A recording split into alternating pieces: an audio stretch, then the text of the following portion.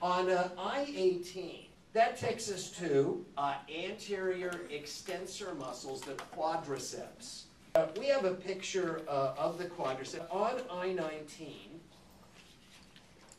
on I-19, there is this huge muscle on the front of the thigh. Huge. It is called the quadriceps femoris. And it's called quadriceps because there are four tendons of origin. It inserts on the tibial tuberosity. Do, do, we, do we ever learn tibial tuberosity? Yeah. Right? Remember, that's the bump. That's the bump below, about an inch below the kneecap or patella.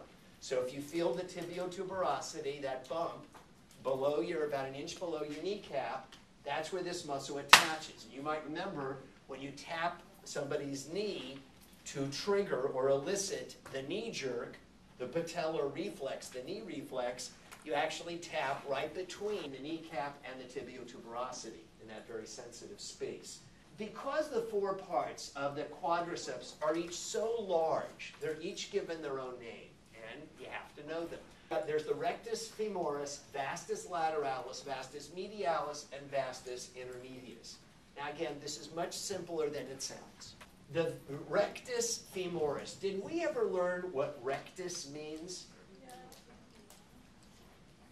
It means straight. You'd say, when did you tell us that? Rectus abdominis. The rectus abdominis is the straight muscle on both sides of the linea alba. So this is the rectus femoris. It's this one right here. R- running straight right here uh, on the front. Rectus femoris. What does that literally mean? Straight along the femur. Rectus femoris. Now, there is another branch, another part of this muscle that's on the lateral side, and in a lot of swimmers, in bodybuilders, or weightlifters, it's just bulging on the lateral side of their thigh, where you see that big bulge on the lateral side. That's the vastus lateralis. And again, a common site for intramuscular injections. Then there's a muscle on the medial side. Well, if the one on the lateral side was called the vastus lateralis, what should we call the one on the medial side? The vastus medialis. medialis. And the fourth part is actually right underneath. It's right below or underneath the rectus femoris. It's called the vastus intermedius, and I won't ask you it. What's the importance of the quadriceps group, that quadriceps muscle? That extends your lower leg.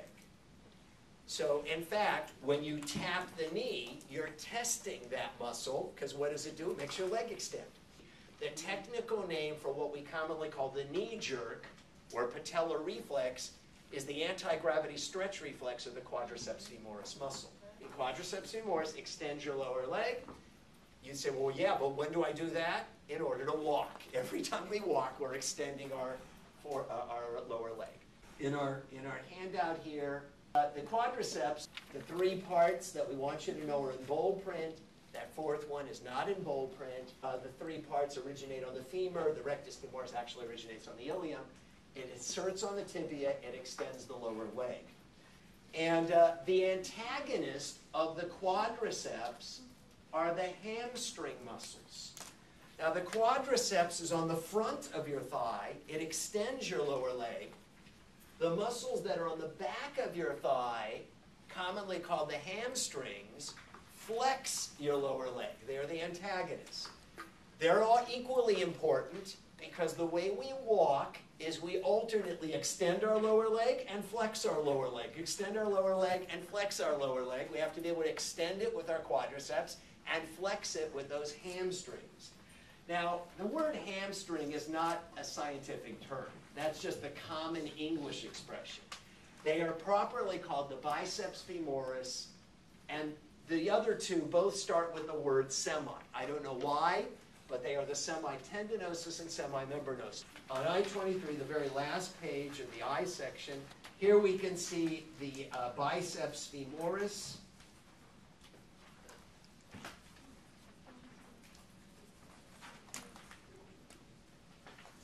The biceps uh, femoris, again, I would look at the lab manual, it's really better. And then there's the two semis, the semimembranosus and semitendinosus. The biceps femoris is on the lateral side of the, on the back, lateral side, posterolateral. Right next to it is a narrow semitendinosus, and most medial is the semimembranosus. So here's an, some mnemonics that uh, I commonly suggest. The biceps brachii is the important muscle that flexes our arm, right? Biceps brachii flexes our forearm. The important muscle that flexes your lower leg, the biceps femoris. So the biceps brachii flexes at the, at the elbow, the biceps femoris flexes at the knee. They both start with biceps, they're both important flexors. The uh, biceps femoris is lateral. Right next to it is this narrow semitendinosus. It's running along the middle of uh, the backside of your thigh. It's narrow like a tendon.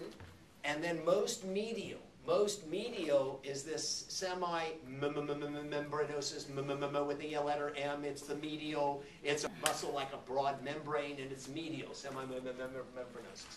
Now, when I make up these little memory aids, you can make up whatever memory aid you want.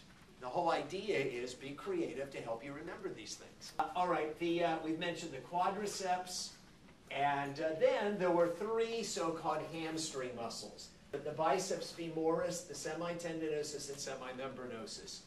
All three originate on the ischial tuberosity, that's the bottom of your pelvis, and they insert on the backside of the tibia.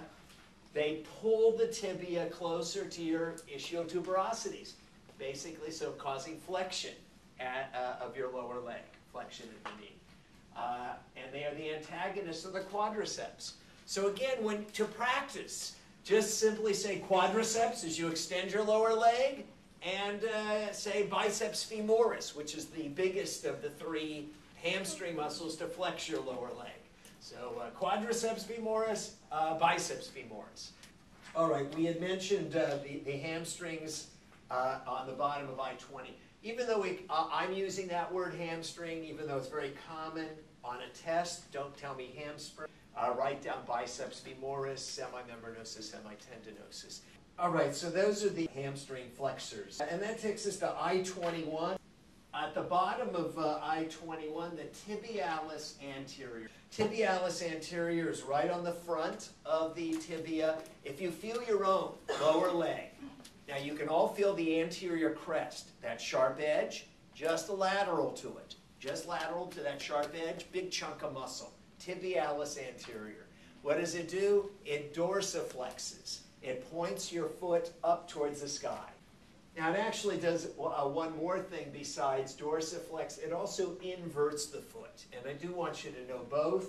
I wrote both of them on this uh, handout here. It dorsiflexes the foot and inverts the foot. Your first thought might be, well, like, when the heck do I ever dorsiflex? I don't go around, you know, pointing my foot up towards the sky. Actually, every time you walk, when you swing one leg forward, as you're swinging one leg forward to walk forward, you point your toes up. Because if your toes are pointing down, you're going to stub your toe, which we've all done on occasion.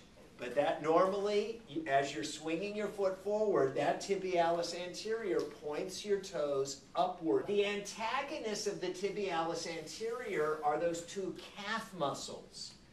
The big one on the back of your calf, the gastrocnemius. And uh, right underneath it, the soleus, they both insert on the calcaneus bone, the heel bone, via the Achilles tendon, both of them and they plantar flex the foot. So plantar flex is pointing your toes down. Obviously, if you're a ballet dancer, you dance on your toes, but also this is the way we jump.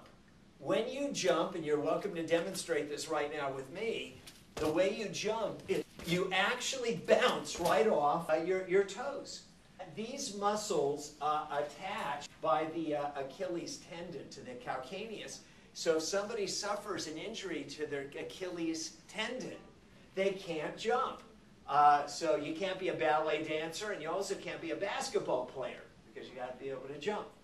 Oh, okay, we're down to I think the last uh, three. Let's start with the flexor digitorum longus.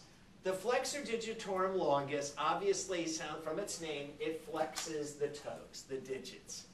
And it, I call it the FM muscle. It's easy to remember, everybody's heard the term FM radio. So FM, the flexor is on the medial side of the lower leg. Just look on the medial side, you know what the tibialis anterior is, you know what the gastrocnemius is, it's running on the medial side. That's the flexor digitorum longus, the FDL. Uh, if the flexor is on the medial side, FM, then the extensor must be on the lateral side, just the opposite side, the lateral side. So I just remember FM, and then I know that the other one must be uh, lateral. So that extends uh, the toes. And the very last muscle, the uh, fibularis or peroneus, you can use either term. The newer term is fibularis. That's actually kind of on the back side of the lower leg. It's on the back side. Uh, it's right between. It's right between the flexor digitorum longus and the extensor digitorum longus on the back side. The flexor is medial. The extensor is uh, lateral. And on the back side, between the two, is the uh, fibularis. It everts the foot. And I did make that in bold print. And we're all kind of thinking, why? I mean, it's like I can barely evert or turn my foot outwards at all, and it's not a big muscle, so why make it bold print? Because it's the antagonist of the tibialis anterior. You'd say, well, that's nice, who cares? Uh, the, it, the tibialis anterior, we said, not only dorsiflexes, but inverts the foot.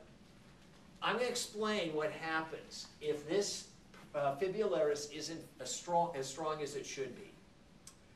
The tibialis anterior, we said, points your toes up when you walk. But at the same time, it tends to invert your foot so that the sole is turned medially. You'd say, okay, so what? All of us at one time or another have turned our foot medially, the sole medially, and put the weight on the side of our foot. That's called, a, you've sprained your ankle. You, you put the weight of your foot on its side rather than on the sole. You were inverting your foot, and therefore your sole was turned too much inward. That's because the fibularis wasn't strong enough. It counteracts the tibialis in everting the foot, and if it's they're in the right balance, your foot goes right on the sole.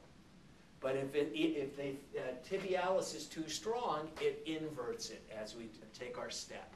So that's why it's more important than you might have thought. You have a, a picture of some of these on I-23. This is a nice view of the gastrocnemius inserting by the Achilles tendon onto the calcaneus bone. Uh, uh, right underneath it is the soleus. Um, tibialis anterior is on the front. This is the uh, peroneus or fibularis muscle here kind of on the back. And right here on the lateral side, it's not labeled, but that would be the extensor digitorum longus. On the day of our test, uh, we will have the cats, all these cats set up. There'll be numbered pins in the muscles asking you the name of the muscle, maybe uh, its uh, origin or insertion, actions, uh, possibly the antagonist. The emphasis will be on those in bold print. So those are the ones I'm most going to emphasize. So put your emphasis first on those. Make sure you know the ones in bold print. Then try to learn those that aren't. Now, uh, there will be one more part to the lab exam. Now, I'll just tell you about it right now. Uh, there will be a completion chart. I can give you, uh, for example, let's say I wrote uh, pectoralis. All right, so could you write for the pectoralis, the major muscle right here in the chest, its origin, insertion, and action? It originates on the clavicle and sternum. It inserts on the humerus, and one of its major actions, not the only, is it adducts the arms. Now, we could also do this. What if I told you uh, the origin of the muscle is, uh, is the thoracic vertebrae?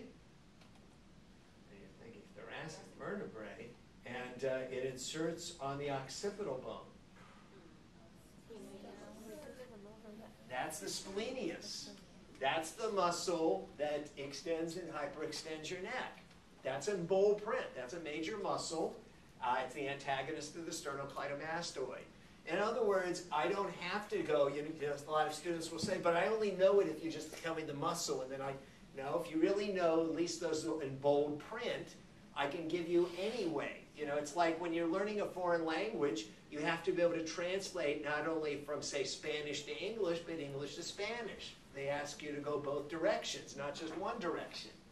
Uh, or I might just, uh, what if I just said this? Um, what if I just said uh, extends the forearm?